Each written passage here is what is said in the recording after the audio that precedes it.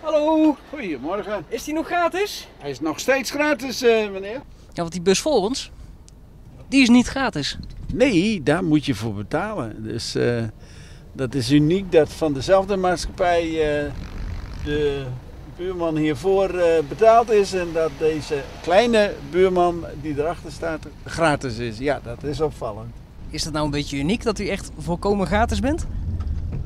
Ik denk het wel. Ik, ik heb nog niet eerder gehoord dat eh, openbaar vervoer in Nederland ergens gratis was.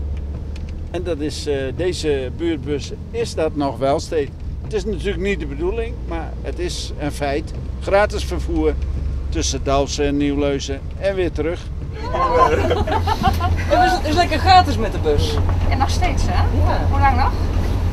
Ja, dat weten we niet. Dat ligt aan Sintes.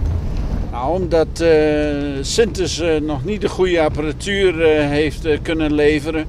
Geen bedrijfszekere apparatuur om eh, dus met een OV-kaart ook eh, in en uit te checken. Dat is het probleem.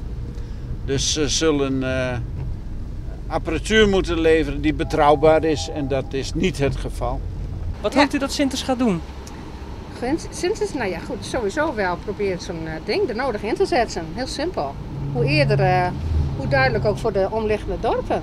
Want die zeggen ook van ja, waarom is niet leuzen gratis en wij moeten wel eh, betalen. Dus dat vind ik heel vreemd. Dat is nog nooit zo'n ding. Ook al is die duur, op een gegeven moment dan, eh, moet je hem toch weer terugverdienen. Want dit kost toch alleen maar geld. Ik denk dat als de bus stopt met gratis zijn, dat, de, dat er minder mensen gebruik zullen maken van de buurtbus. Ja, absoluut. Daar ben ik van overtuigd. Ja.